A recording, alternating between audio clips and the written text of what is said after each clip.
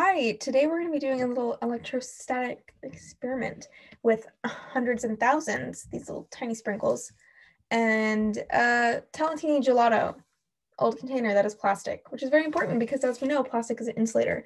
So essentially what we're going to be doing is we're just going to shake this up a bunch and uh, the system is going to be polarized and the protons in the sprinkles are going to be attracted to the next electrons that are now on the surface of the plastic. So let's just, I'm gonna start shaking it and I'm gonna come back to you when I'm ready. So there we go. So here's a little midpoint check. As you see, there are sprinkles on the side, but I'm just gonna go a little more. So that looks pretty good to me.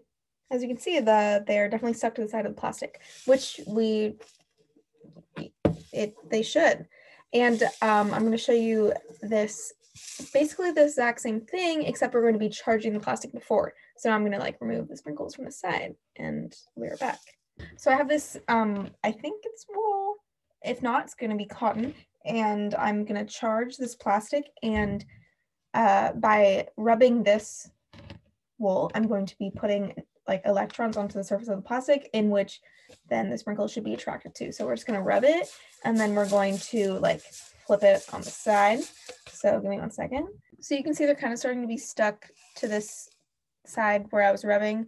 Um, it's not going to be that much better since I have rubbed this a couple times and the fabric isn't the best, but essentially it's the same type of idea. We're just charging the plastic and the sprinkles are going to be attracted. And in the last um, demo, and if you move it, like they want to stay here to where it's charged, um, which makes sense.